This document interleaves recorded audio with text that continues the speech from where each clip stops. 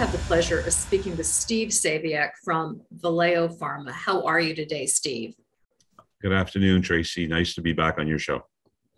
You know, just before we started this interview, I said there's so many slam dunks on this news release. I don't really know where to start. So, investor intel audience, Q1 22 revenues of 4.2 million, up 128%. Q1 22 gross margins of 1.4 million, up 266%. So, how about we start there? Well, it's been a, as you know, our company has launched three very innovative products last year, and they're starting to contribute uh, to a greater extent into our revenues. So, uh, yeah, no comparison to where we were last year in terms of uh, our company, in terms of people, our revenue, uh, our margins, our loss is now going down Q over Q, which we expect to be break even by the end of the year. Um, so I look forward to uh, quarter over quarter revenue growth, quarter over quarter margin growth. Uh, that's what we foresee for many quarters to come. So let's start with the uh, business highlights that you put out. You want to start talking about the $25 million convertible debenture financing? Yeah, we yes we completed that financing in uh, December. Uh, it was a convertible debt financing. It is uh, was led by about eight institutions that contributed 19 of the 25 million. So we're now starting to get that institutional following that uh, uh that we've been working on. Uh, and this uh, the funding was used pre- predominantly for the launches of our uh, two innovative asthma therapies uh, and to support the the upfront investment that we have to make in those therapies. Uh, we expect both of those products to generate well over 100 million of revenue within about four years' time. Um, but of course, as your viewers know, uh, you, you, have to invest, uh, and that investment comes up front. So the 25 puts us in a very strong financial position going forward. And of course, you talked about the reimbursement by Quebec uh, and the Nova Scotia Minister of Health since December 2021 on Atectura and Enerzair. Would you like to comment further on that? We currently have a provincial reimbursement uh, by all the provinces uh, except for BC and, and, Newfoundland. We expect both of those provinces to come on board within the next two months. Uh, so we'll have pan Canadian public coverage. We already have pan Canadian private coverage. And what's important is that for a patient that is prescribed Atectura or Enerzair, that they have one of these two pockets, whether it be private insurers or the or the provincial governments, to actually pay for the drug on their behalf.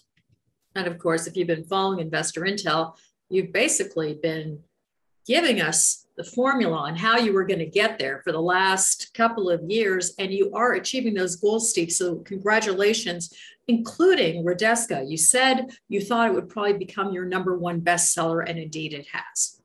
That's correct. Uh, we launched that uh, basically about a year ago. Uh, it's, it's, currently and will be for the next uh, 12 to 18 months probably our best selling product. Uh, but it will be surpassed after that by the two asthma therapies. But yes, Redesca doing very well.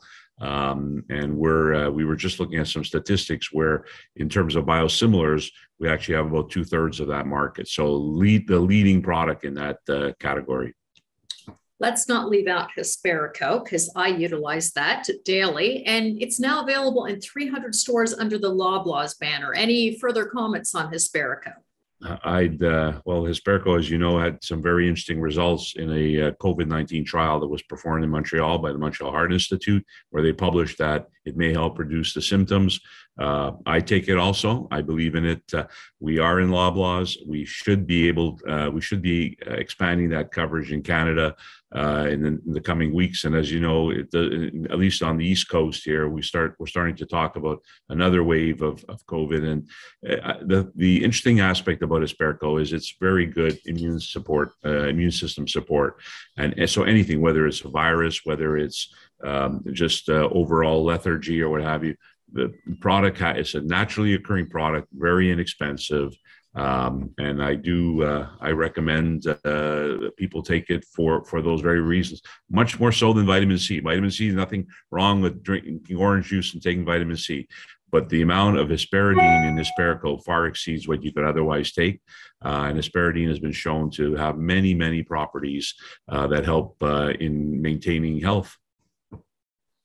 Now, you've commented on your quote in this news release about the benefits of reimbursement. And may uh, we have a lot of Americans in our audience, they may not understand what you mean by this. Can you talk to us about that? Well, the, in the, as you may know, the Canadian uh, healthcare system is a social healthcare system. So essentially, there's very few people that pay for drugs out of their pocket.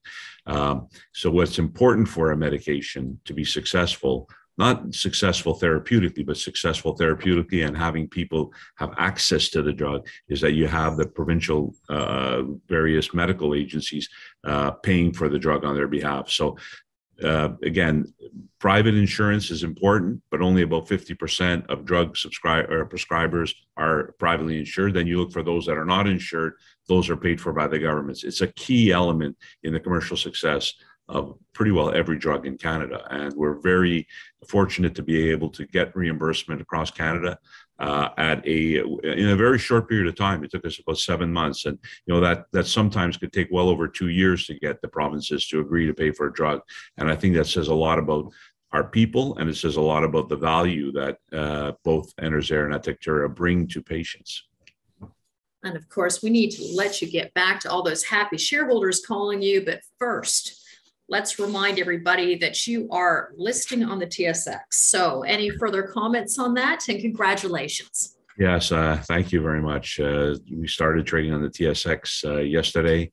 Uh, for us, it's a step up, and obviously, uh, we we had a very strong uh, support from the CSE where we originally started trading, but the TSX is the most senior exchange in Canada, and what that does is it broadens our investor base, not just within Canada, but really globally.